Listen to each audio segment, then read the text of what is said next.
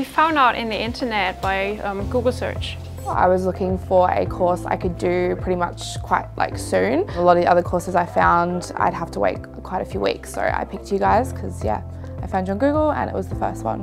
I just searched the barista course and uh, I just uh, searched on Google and uh, find it. Just did a little Google search. The first thing was that it was quite quick, that I could get the course done. I liked the outline of the website, so it went into detail about what we would be learning, and obviously quite a few good reviews as well. Um, it looked good, and you have like a full personal training here, not in a huge group. That's the reason I chose it. I think a lot of like a review, yeah, in the group review is uh, important for me. Um, because you get an all over barista course here and it's nice to have a training here and it's really good to have a first the online stuff and then you're doing really training. Because you have the certification for Australia and because you have plenty of reviews, very good. Making coffee and are able to drink it.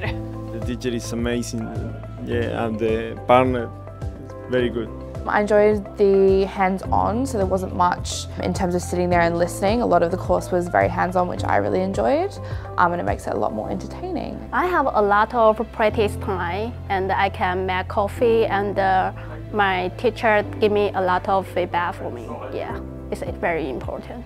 The best part was like learning in a safe environment with the teacher was always funny, but there's a proper training too. The location is easy to find, it's just in the middle of Adelaide. Yeah, so I live about five minutes away from here, so I just live outside the city. Um, I don't currently drive as well, so getting in was um, really convenient for me. Totally, yes. If you want to have a good um, barista course and training on it, definitely would recommend it.